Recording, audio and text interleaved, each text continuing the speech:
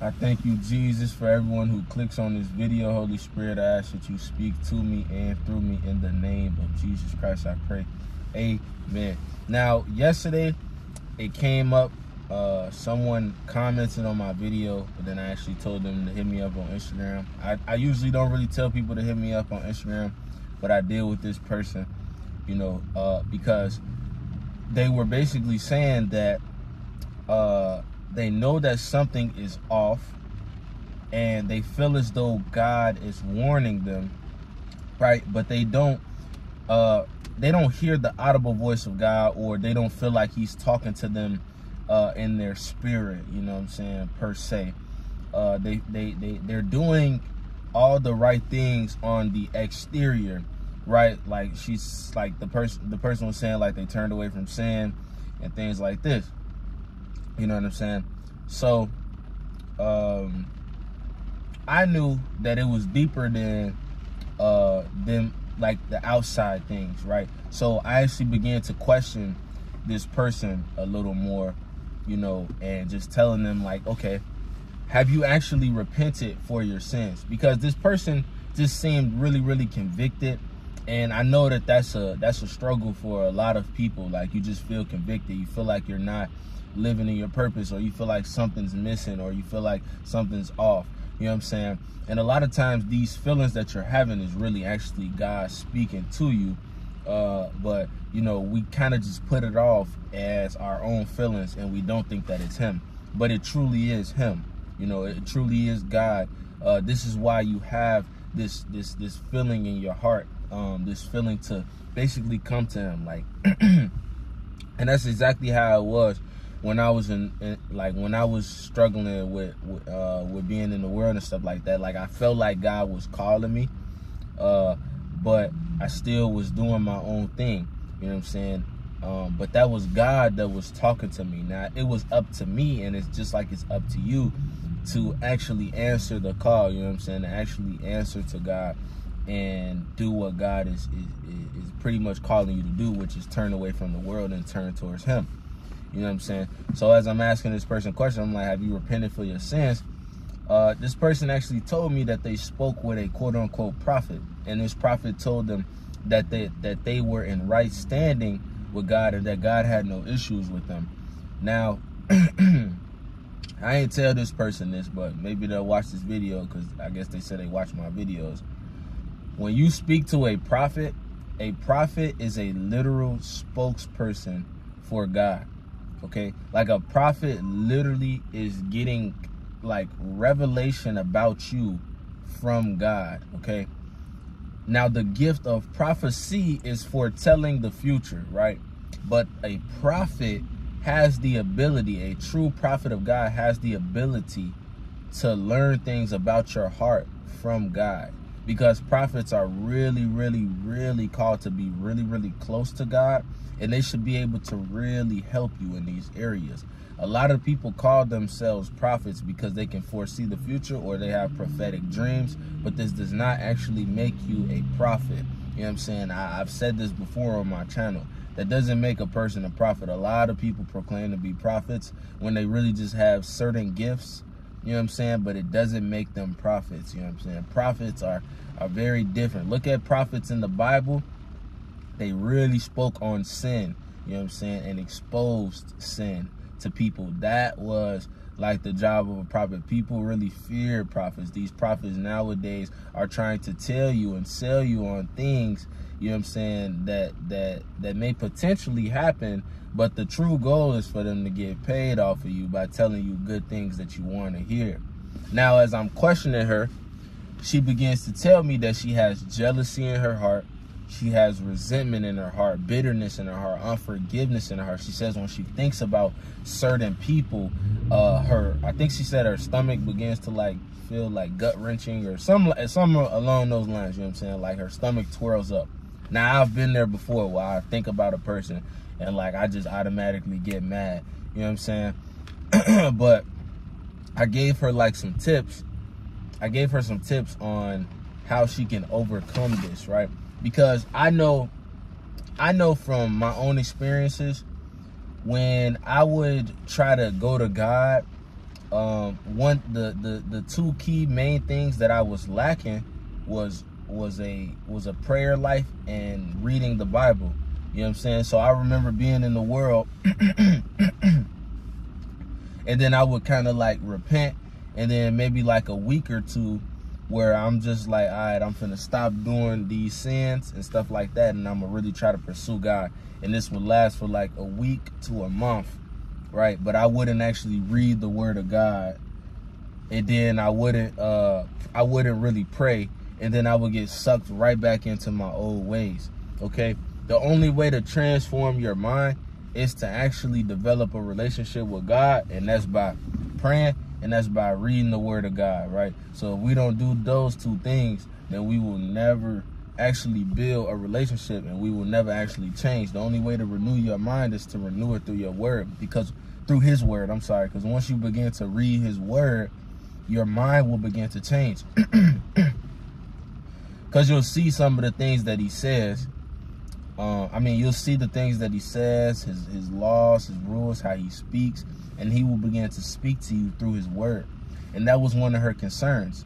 You know, this is something that's actually messing with her faith, she said, because she can't really hear from God.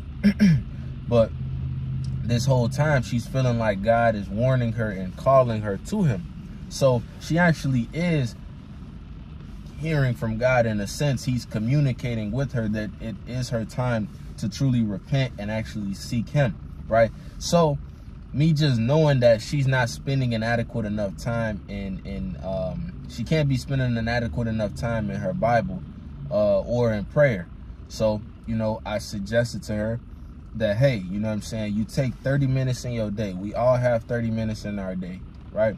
For God, we should all have that, right? Let's say 15 minutes in the morning, 15 minutes at night, if you want to separate it and you just really struggle with spending a, a lot of time with God. Because we all, we all, you know, at, at, at, some point in our walk, so I can't judge nobody. We all got to start somewhere, right? so I told her, like, hey, how about you start reading the word of God for 15 minutes, you know what I'm saying? And then pray for 15 minutes. Do this every single day. I told her to start in James and First John and any one of the Gospels. I told her. The reason I told her James is because I believe every like believer should read James because it pretty much just breaks down how we should be and and rules about our tongue, about loving, about the heart, all of these things, right? About sin um, and and what it does and how God feels about it. All of these things is very powerful in the book of James. First John is really powerful because it just puts things into perspective. It explains how if you still walk in darkness, then you don't have true fellowship with Christ. Reading these things will enlighten you and it'll encourage you like, okay, if this is what the Bible says, then I really do need to turn away from my sins. And then just reading any of the Gospels is powerful because you get to learn a lot from just reading about how Jesus went about things, what uh, what he said, how he actually added to the laws of Moses and things of, of, of this sort and just how spiritual uh, the uh, the Bible is. Because when you read the gospels it really it really has a very uh, big spiritual component to it. So I told her I said read those right? I'm saying I'm like read at least one chapter out of those three books in the Bible a day. At least do something like that. At least pray for like 15 minutes and then I also told her what I did when I struggled with unforgiveness and, and bitterness and things like this. I quoted Galatians 5, 22, 23, and I quoted Psalms 51 and 10. Now, Psalms 51 and 10 is, it says, create in me a clean heart, O God, and renew a right spirit within me. Now, by you continuously quoting this scripture and decreeing this thing over yourself, God will begin to actually answer to his word, okay? The Bible says he places his word above his name. So when we actually utilize his word, he respects it. In fact, the Bible says that angels respond to his word. So angels will actually respond to you when you begin to quote the word of God, right? And I told her to quote that scripture, creating me a clean heart, O God, and renew a right spirit within me. I said, you can do this 25 times a day. Do the fruits of the spirit 25 times a day.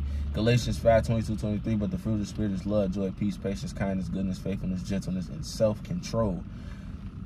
Above, uh, uh, uh against these, there is no law. Saying this 25 times, getting this into your spirit, right? Getting this into your heart, and then decreeing this over yourself, saying, God, you know, I just, I forgive so-and-so in the name of Jesus. I just decree according to your word that I will operate in the fruits of the spirit. I decree according to your word that I will walk in the spirit and not fulfill the lust of the flesh according to Galatians 5 and 16. Praying these things over yourself right? And, and, and, quoting these scriptures and reading the word of God, I guarantee you will see a change. I guarantee it. There's no way that you can be reading all this, this, all this, all of this light in this life in this book, in this holy Bible, and not be changed from it. Okay? Because I can testify and say that this is the reason why I've changed because of this King James Version Bible and because of the Amplified Bible because I spend, you know, a, a, good amount of time reading the word and, and allowing it to digest into my system. You know what I'm saying? And when you read the word of God, I just suggest like really taking your time and going over things, rereading things. Like, don't think like you're to rush. Like, I plan on reading this Bible for the rest of my life. So I haven't even really gotten to like the Old Testament and stuff like that. I'm really focused on the New Testament. But I mean, I'm to read this book for the rest of my life. So as I continue to read it, I'm to continue to to grow and continue to learn and continue to like, you know what I'm saying, uh, mature in my thinking. Okay. And these are just the things that I told her, you know, if she's struggling with this. And I seen another person comment on my thing uh, comment on my video yesterday and they said that they were a sinner and they said they feel they was like saying something about shame and guilt. And as i'm reading it i'm just hearing um, um, condemnation right? That's condemnation in their mind because they have some reverence of the spirit. They have some reverence of god. So they know that they're not supposed to be doing these uh, these sinful acts and stuff like that but yet they still are doing these things now, I would never judge you, you know what I'm saying, or judge someone like that because we are, at the end of the day, we've all sinned. We've all fallen short, you know what I'm saying? But if, if you are watching this video and you apply some of the things that I've said in this video and you just repent uh, for your sins and you begin to apply these things, you will see a change, right? And something that I really had to do that a lot of people struggle with is I had to cut off my my old friends. I had to cut off people that you know I used to consider my brother, and you know I used to smoke weed with and and and and and, and have these worldly conversations with, play basketball with. You know people I used to literally train and go hard in the gym with, like you know basketball, working out, lifting. Like people I spent a lot of time with walking before I, before we even had cars. I had to cut these people off because these people are not on what I'm on. You know what I'm saying? And I didn't just cut them off in an unhealthy way. We had a conversation. You know, I told them, hey, I'm, I'm going this way with God. And, and, and I actually warned them. I told them, hey, you guys should repent as well.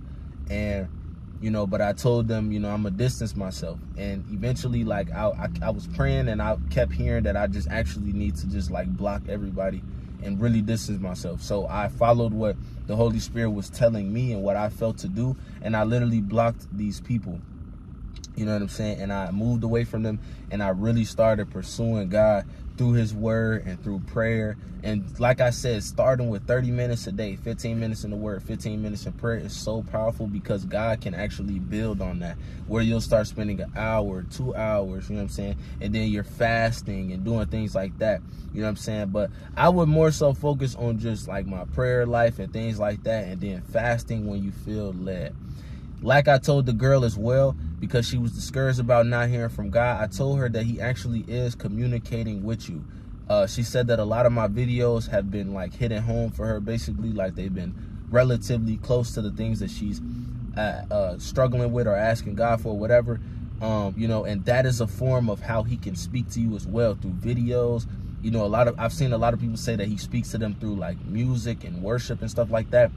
I, I don't listen to a lot of praise and worship uh, people because it's just it just seems like a lot of people are, are, are wicked and and and um you know, I'm I ain't even finna get into all that. You know, I listen to instrumentals and I pray over over instrumentals. I listen to William Augusto, you know what I'm saying, and stuff like that. Sometimes Cal Lovett. Uh, you know, so I, I listen to instrumentals a lot.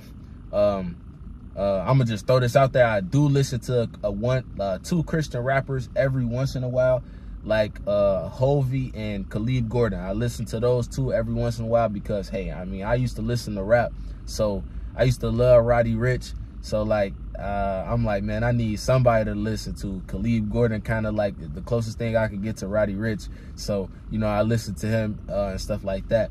But he got some powerful messages in his songs as well. I like I like the stuff that he raps about too, and, and it just it just slap it go hard. I ain't gonna lie.